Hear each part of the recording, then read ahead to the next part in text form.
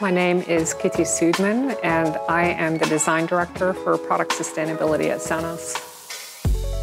We are at the headquarters of Sonos in Santa Barbara to launch two smart speakers, the Era 100 and the Era 300. Era 300 is a smart speaker that delivers spatial sound, which is an audio format that allows sound to be experienced in three dimensions. It's the most sophisticated product we've ever built.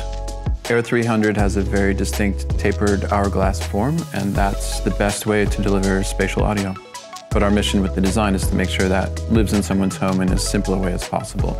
Era 100 is a remastering of our iconic Sonos One. The design mission was to keep the iconic shape of the Sonos One, but deliver a completely new sound experience.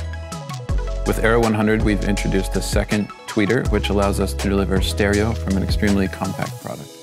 We've made the Era products more circular by removing virgin plastics and introducing recycled plastics. We're removing glues and introducing screws to make our disassembly and reassembly easier.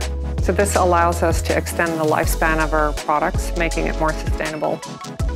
At Sonos, we want every product we release to be the best one we've ever made. We believe strongly that audio experience matters, and a better sound experience is a better lived experience.